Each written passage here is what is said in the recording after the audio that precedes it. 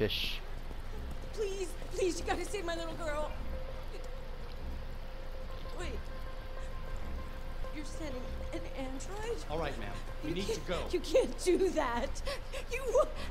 Why aren't you sending a real person? Okay then. This is your daughter, ma'am.